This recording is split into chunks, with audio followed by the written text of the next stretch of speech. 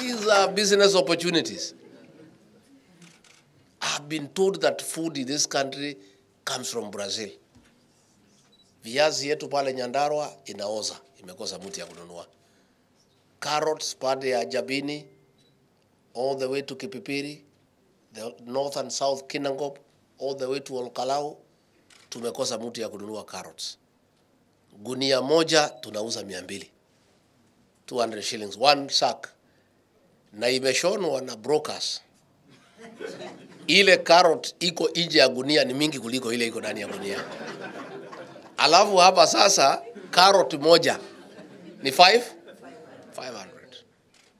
I think you guys must think out of the box. We want to hear from you, Balozi. What can we do to help Kenyans here? Tuanze biashara ya kuleta viazi na carrots na chakula kutoka Kenya, tulishe watu ya Angola na sisi tuweke pesa kwa mfuko, zingine tukule, zingine turudishe nyumbani.